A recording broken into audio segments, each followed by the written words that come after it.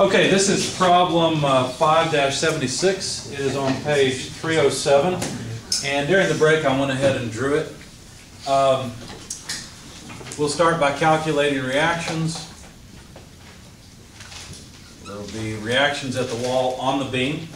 The reaction uh, at A is 1.8 kilonewtons per meter multiplied by three and a half meters worth, plus the area of this triangle down here, which is 1.8 kilonewtons per meter multiplied by another 1.2 meters, but it's a triangle, so we have to divide by two. That comes out to 7.38 kilonewtons. So there's the total force, the total reaction force at the wall. Let me just erase it here and write it in, 7.38, since we know the magnitude now. And we'll just write kilonewtons there. Okay, for the moments, summing moments about A, taking counterclockwise is positive, we should get a zero total. And so that would be the moment from the wall, which I called the moment at A, notice it's a positive moment, okay, minus the moments due to this rectangular section and the triangular section. So that would be 1.8 kilonewtons per meter multiplied by, again, three and a half meters worth, multiplied by the moment arm. Well, where is the moment arm of that resultant that I've computed? It's at the middle of that three and a half meter distance, right? So that's one and three quarter meters. of dis- So here's the moment arm, there's the resultant, okay, of that rectangular area. There's also a resultant of this triangular area. That resultant would be 1.8 kilonewtons per meter multiplied by, it's gonna look just like this, 1.2 meters divided by two, there's the resultant. Where is it located? Well, it's one-third of the way into this 1.2 meter distance, right? But we also have to, have to add on that three and a half meter length. So I just wrote it this way, three and a half meters plus 1.2 uh, multiplied by one-third, and these are all meters. Okay? Anyway, calculating the moment at A from this, I found that the moment was 15.237 uh, kilonewton meters.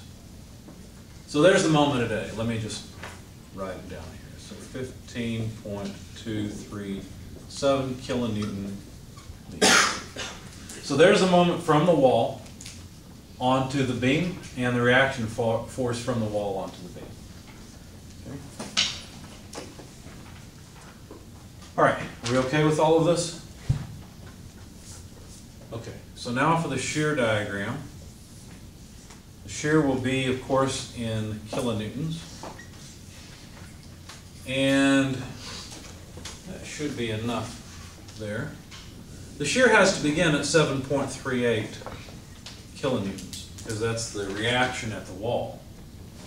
But as this distributed load is applied, that shear is going to move down linearly until we get to this point where the diagram changes.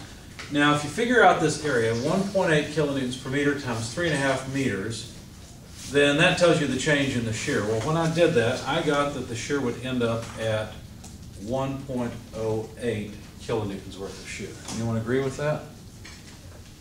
Please type in your calculator, make sure I'm being honest here. Already made two mistakes on two different problems, so you better check me. So one point eight times three and a half from seven point three eight.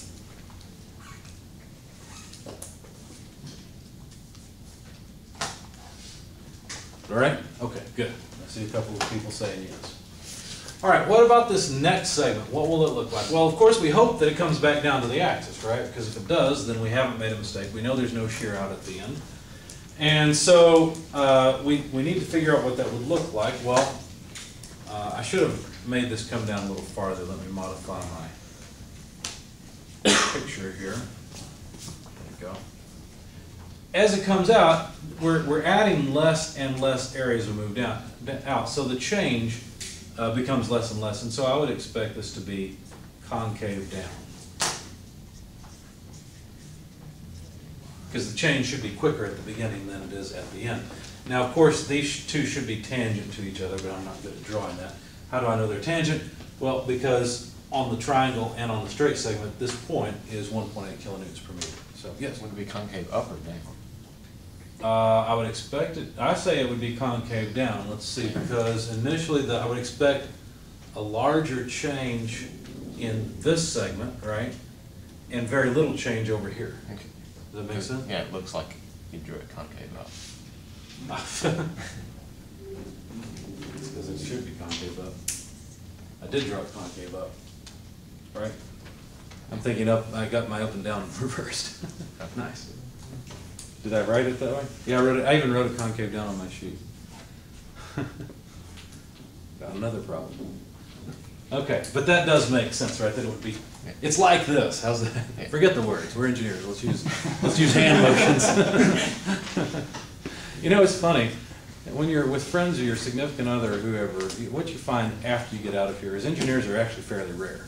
Now, you might work for a company where there's several of you, but you, in the general public, there's, we're not a very high concentration of the population. So you find another, you know, friends or someone that, that's also usually single, one-person engineer, and you're at some polite dinner or party or something, you're talking to them, and all of a sudden, the people you're with say, what are you guys talking about? It sounds like you're speaking a different language, we don't understand. That will happen. Okay, so anyway, yeah, like that. So let's see, that's what we expect is concave up. Gotta fix that on my solution here. Note of that. And then what do we expect? Well, for the moment, well, for, for one thing, we want to make sure this comes back to zero, right? So we better add up this area. So if you take 1.2 multiplied by 1.8 over 2 to get that area, you should get 1.08, so that we come back down to the, the axis. Does that work? Okay, I see a few people saying yes. So we did end up back at the the axis at the, so that's good. Now for the moment diagram, and then we'll, we'll do a little more work on this because so far what we've got is really not enough. So the moment in kilonewton meters, well, let's see, it has to begin with a moment of 15.237, but it's going to be negative, right? Because again, if you look at a beginning segment of that beam right here, just this little bit here, there's a moment on this side of 15.237, and so you have to apply a moment in this direction to counteract it, right? And that's a negative moment by our sign convention. Okay, So we would end up at, or begin at negative 15.237 kilonewton meters of moment. Now, all we have to do is add up area to move along on the moment diagram. When you do that, you'll end up with a second order curve, something like this when you get here. So that's second order, and this one is concave down, I think. You can correct me if I'm wrong. But that is second order. In other words, we expect the equation that describes this to have an x squared term in it. Okay, and it is concave down.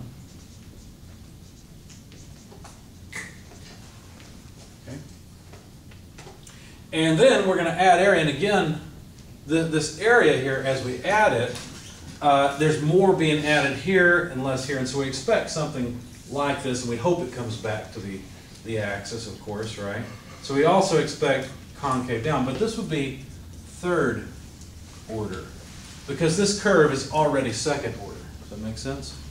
So we expect a third order concave down. But notice we haven't even verified that this would come back to zero, right? We need to first of all calculate this point and then somehow integrate this curve. Uh, also, we need the equation for this second order curve because when I give you a problem like this, I expect you to solve all of it. Okay? I expect you to be able to tell me the moment and share at any point along the curve. You can't do that unless you have an equation for these things. Okay, so let's see. If you take this area, take uh, 1.08, which is the value of that point right there, let's get it out of there, and add it to 7.38, divide by 2, and then multiply by 3.5, that should give us this area. So how much area is that, please? Fourteen point eight oh.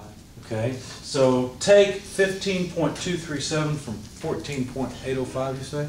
Yes. Okay, and what do you get?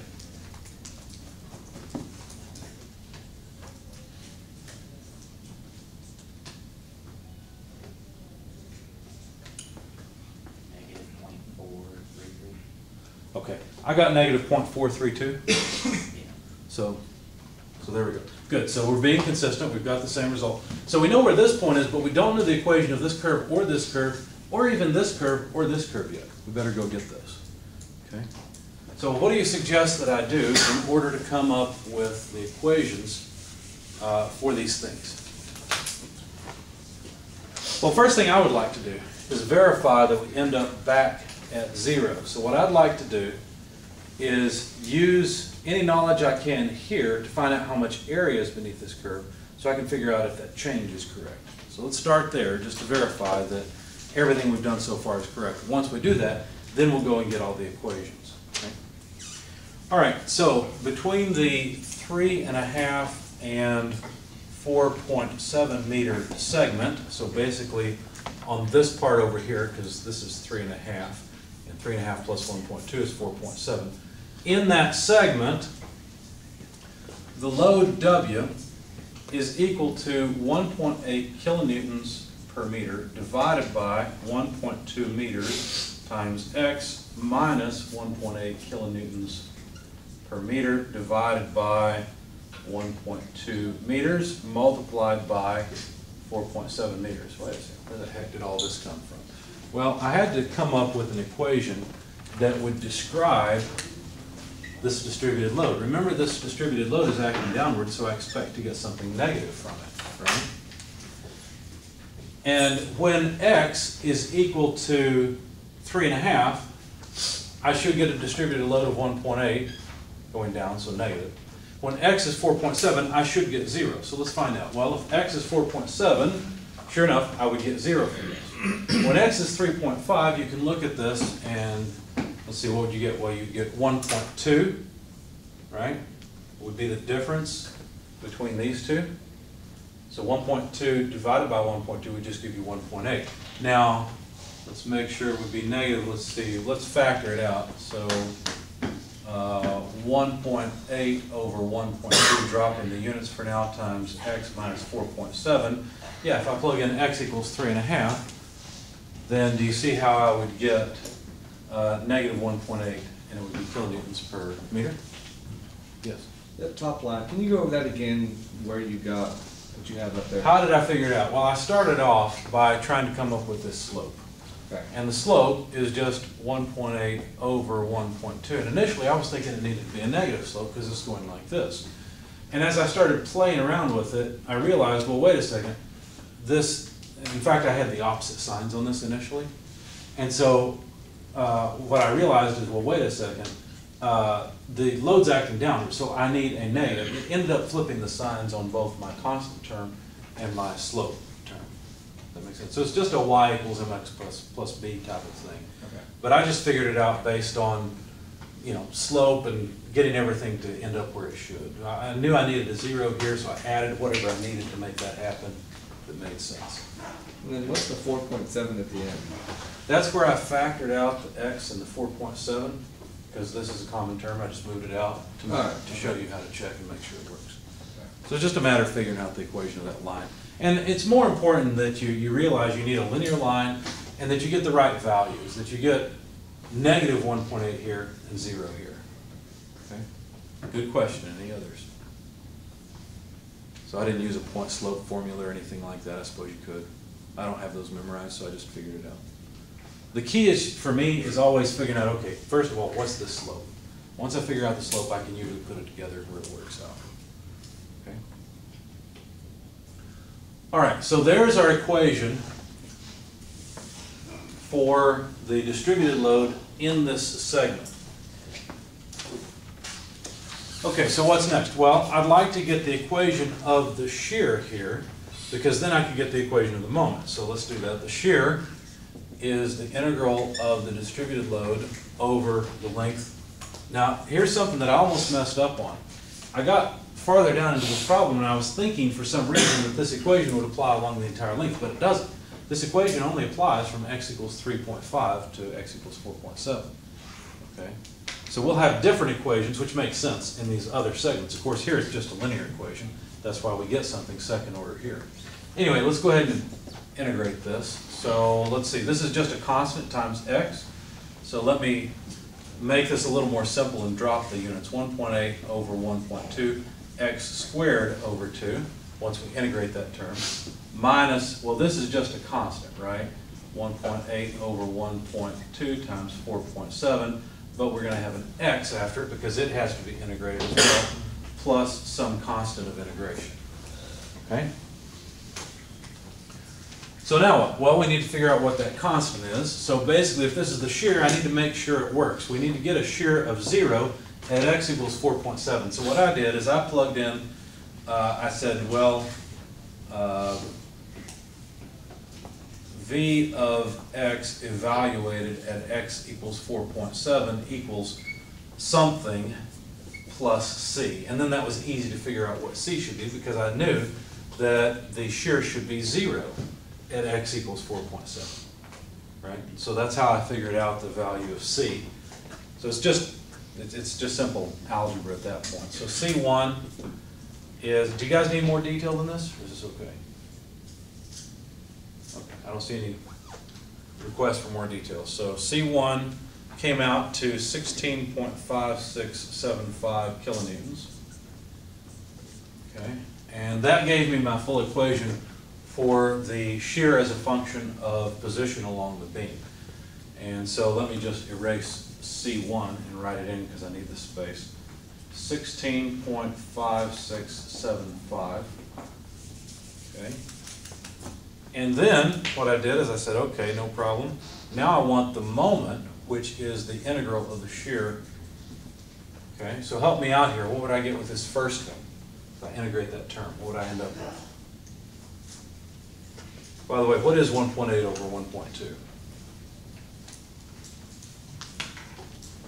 One point five? One point five, that's right. So let's put in one point five rather than writing that over and over. When you integrate x squared over two, what do you get? This is where you might get confused, because you might be thinking derivative and thinking, okay, how does that go? When do I write the exponent beneath it?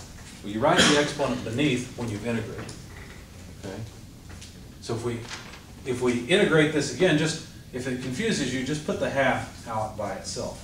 And the integral of x squared is just x cubed over three. Okay, when you integrate, you increase the order, the equation's like this. Uh, the integral of x to the n dx is equal to uh, x to the n plus 1 over n plus 1, as long as n is not equal to negative 1. When n is equal to negative 1, what do you get? One to five. 1 over x dx is the same thing as x to neg- negative 1 dx. What do you get?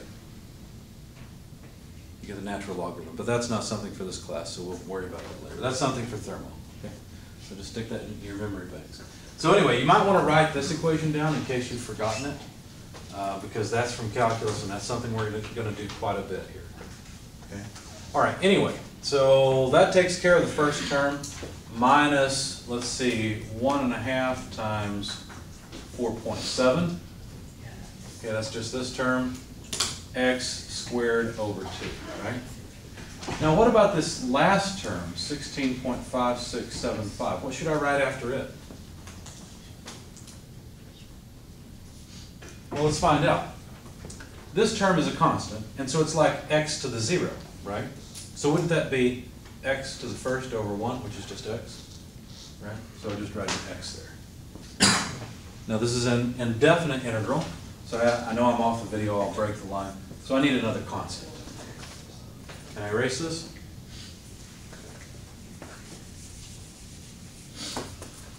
All right, well, now we need to solve for this constant C2, and how would we do that? How would you do that if you had to do this? What would you do? Change majors, right? Wrong answer. You're in the right major. How'd you solve for C2? Well, you just look at the boundary conditions. at x equal to zero, we know we better get this value of the moment. Well, wait a second, that won't work. That's what I thought initially, right? This curve only applies from three and a half to four point seven. So what you have to do is say, well, at x equal to four point seven, and actually plug four point seven in this, C two should make it so that the moment is zero, right? Now, you can't guarantee that, right? Remember, we, we said we're trying to prove it. We're trying to prove that this comes back to zero, but that's not really fair. So here's another way you could do it. You could say at x equals three and a half, so plug three and a half into there. C2 should be such that I get a moment of negative 0.432. Okay? And then you could check the other end. It doesn't matter which way you do it. You could go for this one and then check that one, or go for this one and check that one. I, uh, what did I do?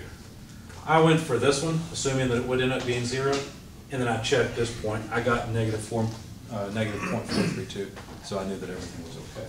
Anyway, so C two, I came out with a negative twenty-five point nine five five seven five.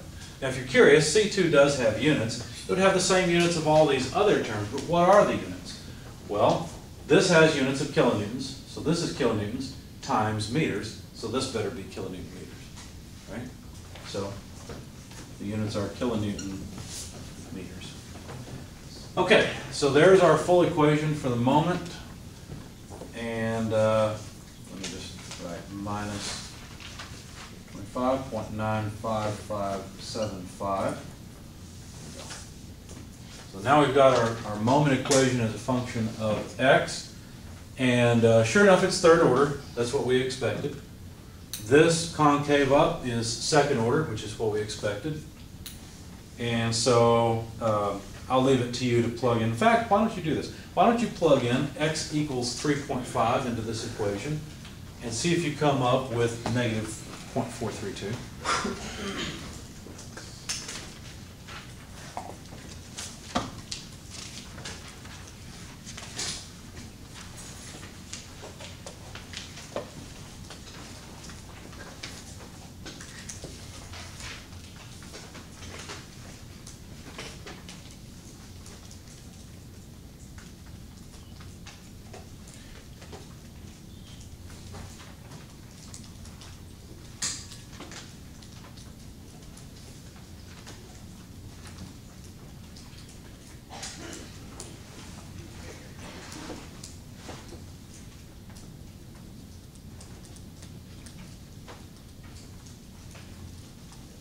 And if you're watching the video, you should try this as well.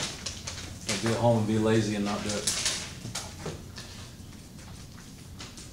I give you guys these exercises because I think it's helpful to keep you involved in what we're saying and you're not just sitting there passively. Also, it's important that you be able to actually do this. And the key, in my opinion, going through the motions of doing this on your calculator is actually good practice. You're used to doing it in class, and so it's not such a big deal when you have to do it on homework, but especially on an exam. But if you've already done others, I don't blame you for not doing it. It's up to you.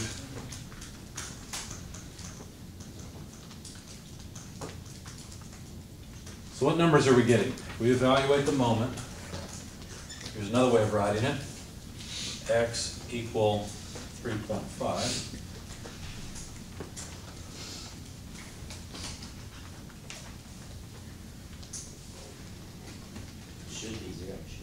No, it should be 0.432 because we're calculating this.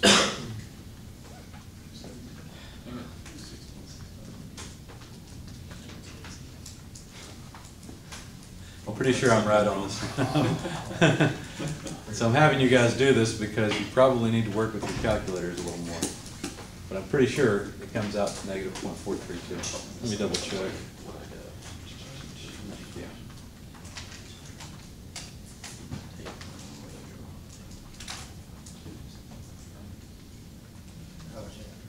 I'll you in on a secret, I uh, made several mistakes before I got to this point, so. My worst mistake was that I copied down this moment as negative fifteen point two seven three instead of 37. So I was off by 0.036, and I thought, where the heck is this coming from? It can't be around off. Finally found it. Anyone verify my number? we got negative, okay, 0.432. All right, so that is right.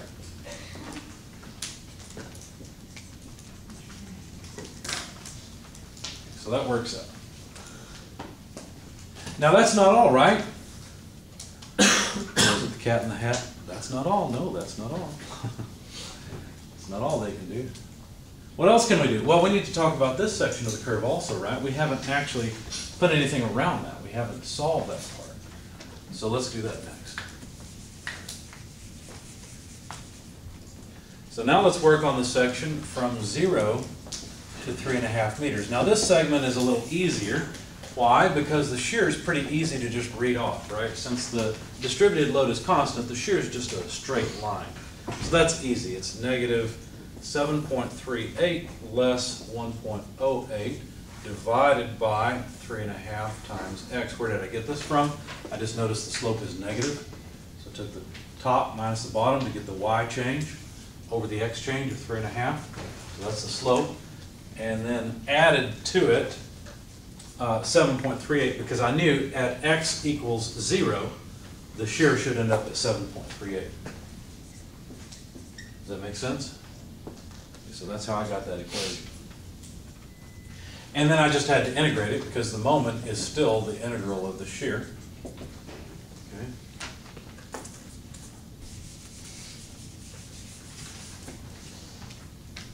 And so help me out here. What should I end up with? How should I do this? Why don't you tell me this ratio, seven point three eight less one point oh eight over three and a half. How much is that?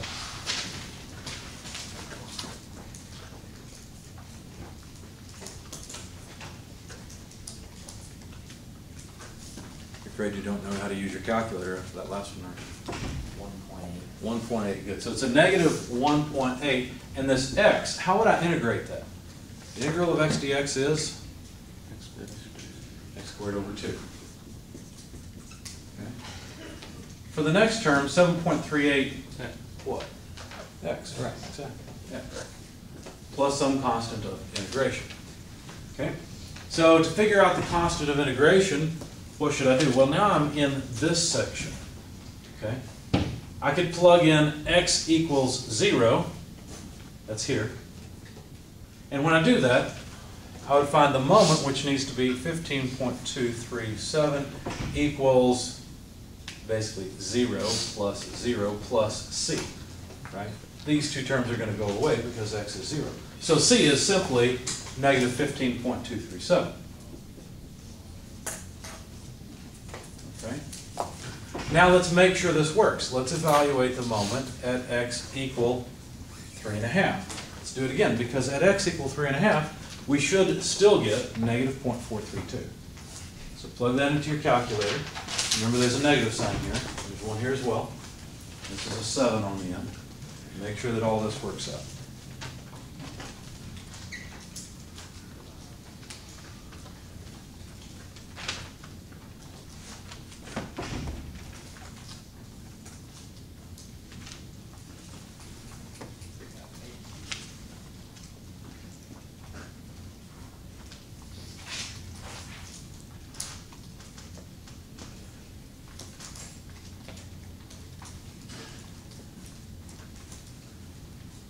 Okay, I see a couple people saying yes. All right. So do you see how we've solved the whole problem? We have an equation for this segment, for this segment, for this segment, and for this segment. They're different equations, but we do have equations to completely describe all of those segments. We know the general shape of everything. We know the endpoints, we know where things change. So we're done with the problem. Questions?